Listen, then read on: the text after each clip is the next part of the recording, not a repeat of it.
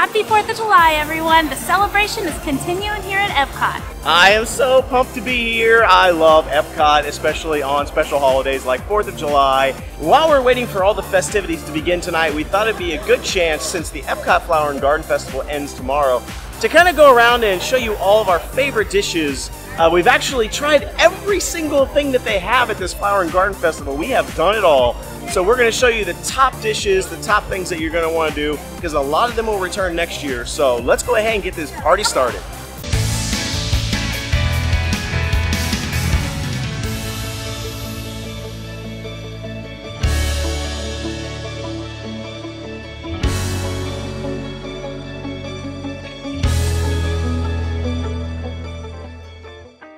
Right, we just reached the World Showcase here. This is where the Flower and Garden Festival is. Now, there are a couple of booths over in uh, the area over by Figment and over by Test Track, but the majority of the booths are here in the World Showcase, and it's just such a different atmosphere here um, right now during the daytime. Tonight, it's going to be a whole nother animal.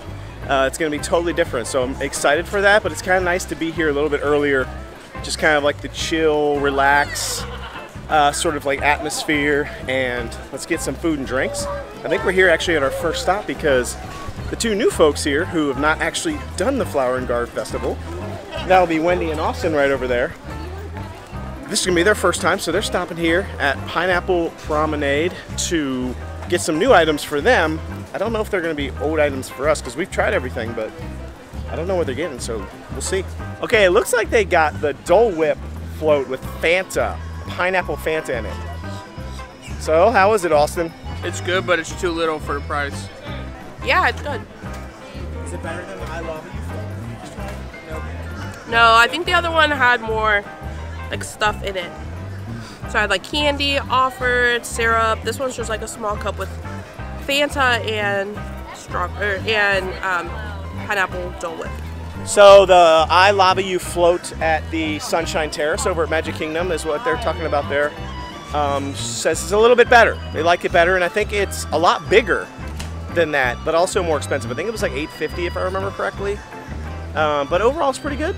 Not too shabby. I like it. But it's really hot out, so it needs to be twice as big.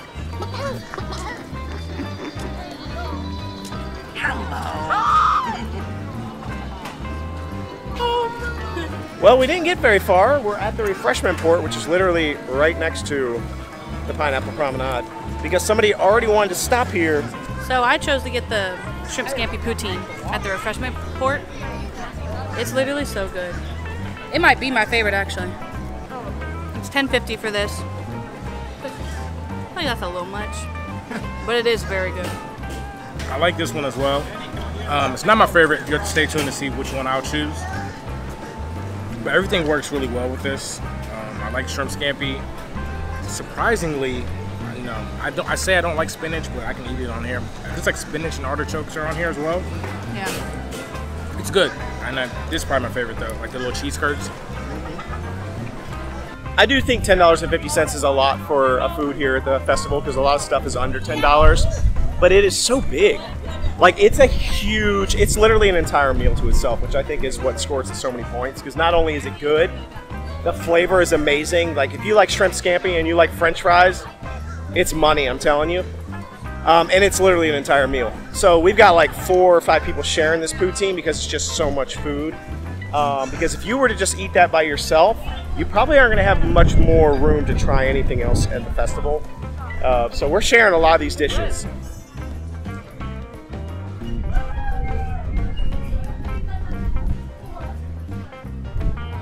Pooh. He's so cute. I think he's one of the cutest ones besides Encanto. He looks so cuddly. Um, I feel like he's grown. He's a little bit thicker than he was. he's super cute. Wow. These guys really take their job seriously. This guy hasn't moved for at least five minutes. I haven't even seen him blink. So it's a staring contest, is it? Let's see who blinks first.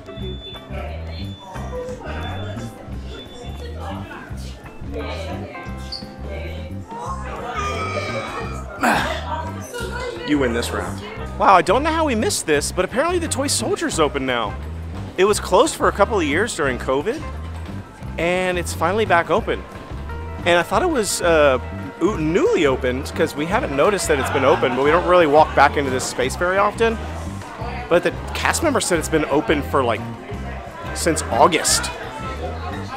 So wow, we totally missed the boat on that one, but it's cool in here. I like this little store. It's like an extension of the um, the UK store over there, but it has like more like kid-friendly stuff. So we're going to Flavors of Medina now. Um, they have the hummus trio, which me and Lexi and I love hummus, and we've had this earlier in the festival. It was so good. So we're going to try it again. Hopefully, it's as good this time because you know sometimes you try stuff in the beginning and the end, it's not as good or it's like completely different. So hopefully, it's the same. We'll find out. Okay, so this was my number one pick for the Flower and Garden Festival. The hummus trio. What is this? Morocco? From Morocco here. Um, this is my favorite because one, it's delicious, and, and two, because it's more of a healthier option and it's lighter. I feel like I love the shrimp scampi poutine and like some of the like the pretzel bread and things like that, but they're more heavy. So I feel like, especially on a hot day like today, something like this is perfect. And this is 5.50. I feel like that's a good price for three different types of hummus and chips and bread.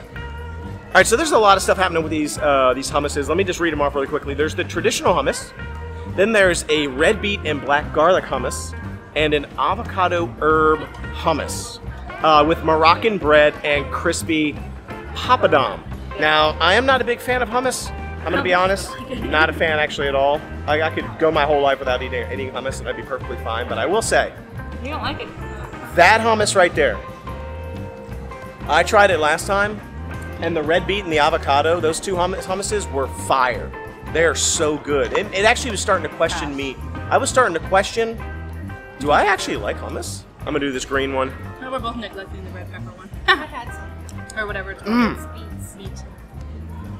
Mm. This one just this one just tastes like guac. That green one is fire. Grainy. I love the green. And the red beet, Ah. fire. I like the hummus. I feel like um, they're, they're just as good as they were last time. Um, the same portion. in the same portion as last time.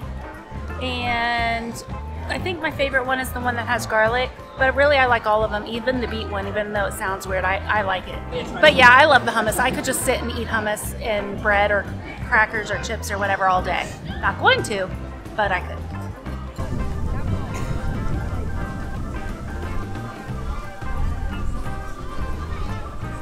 Well, it looks like we're going to get rained on, and when you see the cast members putting the umbrellas away like that and closing up shop, you know it's going to rain.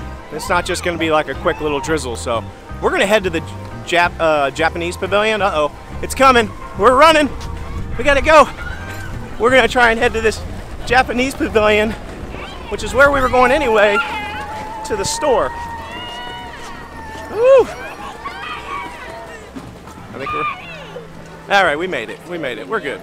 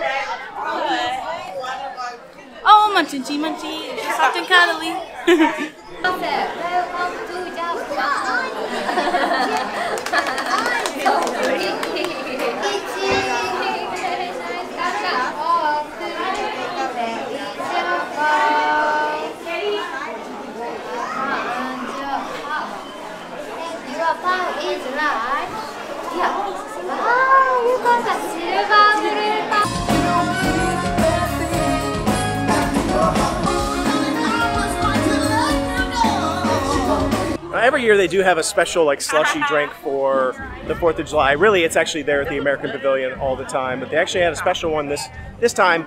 Uh, the soulful note or something like that, which it wasn't really for Fourth of July, but it still looks Fourth of July. It's blue raspberry, it's cherry, uh, it's got frozen lemonade and vanilla ice cream in it. Looks so good. How is it, Wendy? It's really, really good. It's very refreshing, especially since it's really hot today. Can you actually drink it, or is it just is it mostly like ice cream? No, so it's like a float. So it has vanilla ice cream. Can't remember them all, but cherry Fanta slushy, blue raspberry slushy, and Minute Maid lemonade slushy, all mixed in there, and it's really, really good. Yum. Yeah. Well, I will say the Flower and Garden Festival would not be complete if I didn't at least get my one of my favorite things I've ever had at one of these festivals because it's just like a sleeper hit, came out of nowhere, not expecting it all. And that would be the pineapple Tajin. Once again, I've gotten this so many times. It's on other videos. I don't care. It's so good. Mmm. I mean, that just hits. You get one too? This is my. This is really. Ah, this is really my favorite thing ever It's so good. The first time she ever had it, I said, "Trust me." Before she had it, I said, "You're gonna, you're gonna start craving it after you have it." It's not like that's a re-release though. And now, and now, every time we're here, we gotta stop and get it. It's so good, but it's gone after this festival, so it was our last chance. Whew! I'm gonna be sad when this thing is gone, but I have to wait till next year. So we just realized uh, when she picked up this drink over at the uh, American Pavilion, and this uh, this was only six dollars and fifty cents, and it was huge compared to The pineapple float that I got at the beginning, it was six twenty-five. that thing was a that thing was like a baby glass compared to that, and It- that had a huge thing of ice cream on top. Like it was all the way up here, and that thing was full. Yeah, that's a better deal. Yeah. 25 cents more and you get so much more. Yeah, that's a better deal, man. There, yeah, that's. Hmm. What's up with that?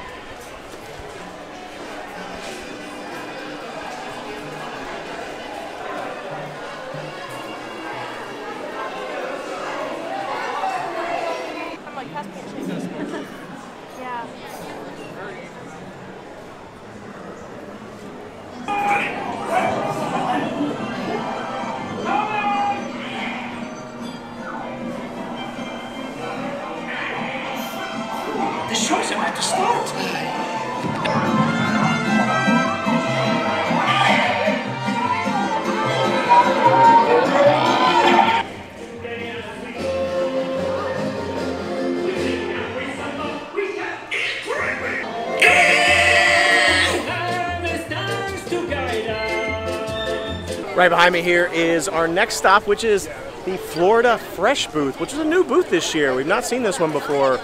Um, and they actually have an amazing blackened fish slider here that was fantastic. So we're gonna, we got to grab it again. Um, Nick's been dying for this all day. We've been waiting hours to get this thing. So I've already had this. Immediately, I realized I forgot to ask for no tomato, so I'm gonna have to chuck that off. Everything else looks just like it was the first time. Fish looks amazing. It was only six seventy five. It's not bad.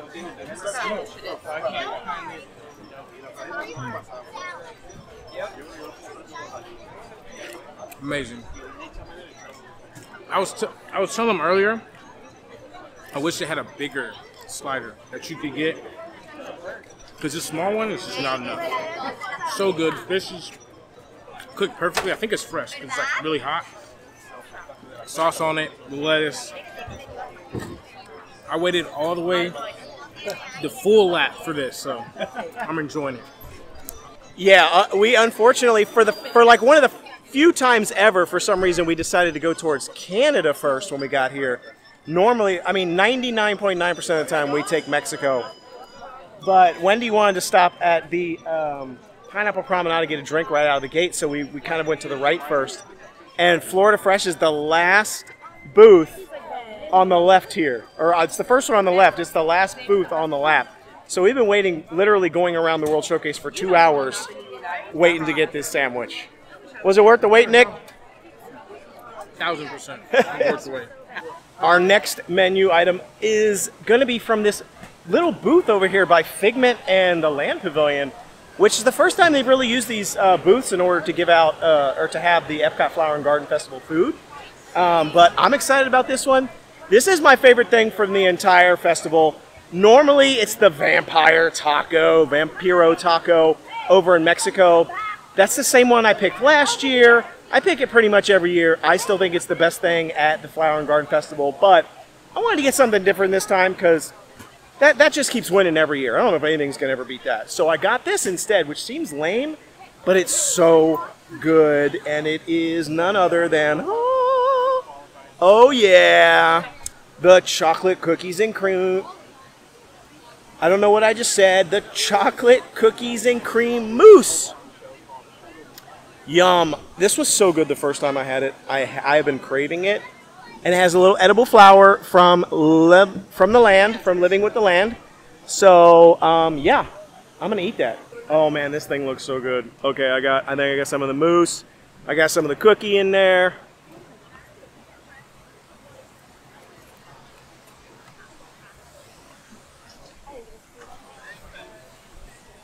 Oh my goodness!